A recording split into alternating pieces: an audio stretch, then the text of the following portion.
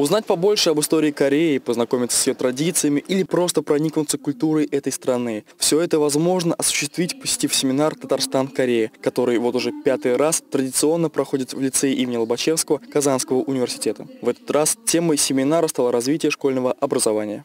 У нас много лицеистов, интересующихся корейской культурой, корейским языком. Наши дети активно изучают корейский язык и э, проявляют интерес к развитию страны.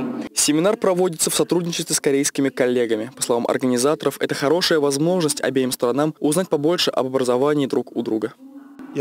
Наш пятый семинар «Татарстан-Корея» проводится с целью популяризации корееведения. На этом семинаре преподаватели делятся опытом преподавания различных дисциплин, связанных с ним.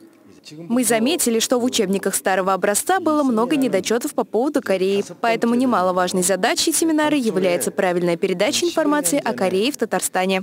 На семинаре прошло несколько лекций на корейском языке, мастер-класс по правильному произношению разговорной речи, а также мастер-класс по чиничопке, искусству создания поделок из бумаги. По словам директора лицея, информация, которую лицеисты получают во время семинара, заметно помогает им в дальнейшем.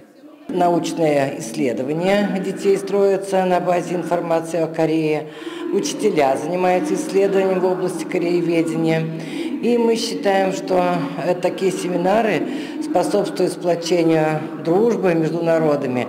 С каждым годом организаторы семинара стараются его разнообразить. Однако в этом году все мастер-классы прошли в онлайн-формате. Лев Диденко, Ленар Давлетьяров, Univer News.